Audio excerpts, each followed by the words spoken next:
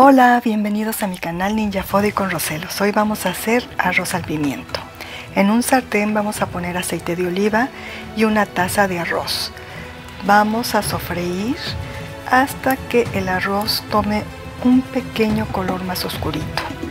Una vez que ya el arroz tomó ese color, le vamos a agregar un pimiento en rebanadas delgaditas y vamos a sofreírlo nuevamente. Agregaremos eh, ajo picado, eh, un ajo aproximadamente. Lo vamos a picar o si tenemos ajo seco también podemos ponerle media cucharadita. Recuerden para que el arroz nos quede eh, muy bien hay que ponerle dos tazas de agua y media. El arroz cuando le ponemos las tazas debe de sonar el ruido de la mezcla.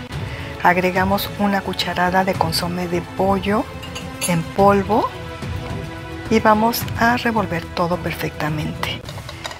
Ahora lo que nos queda es esperar a que empiece a tomar el primer hervor.